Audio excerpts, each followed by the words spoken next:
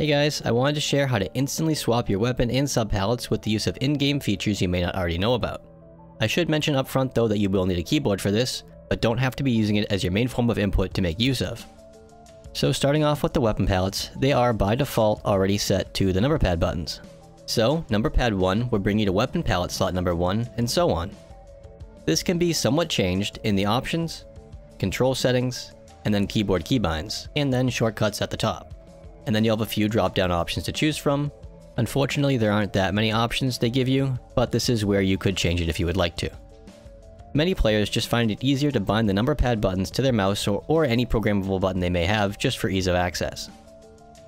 While we still have this window open, the next thing we want to take note of is run chat shortcuts, as this will lead us into how to swap subpalettes. By default, your chat shortcuts are bound to Control plus F1 through F10 and this can also be changed here too, but you can go back to do this later on if you want. For now, let's close this out and open up our chat shortcuts window. To do this, we first go to the escape menu at the bottom, then the gear icon, and then chat settings.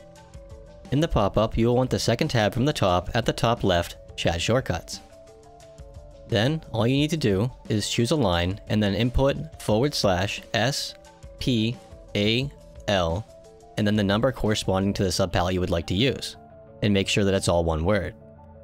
After that's all set, you can either use the combined key press it's set to, such as Ctrl F1 for the first one and Ctrl F2 for the second one, and so on, to then swap weapon palettes, or make a combined key press or macro into one of your devices as well.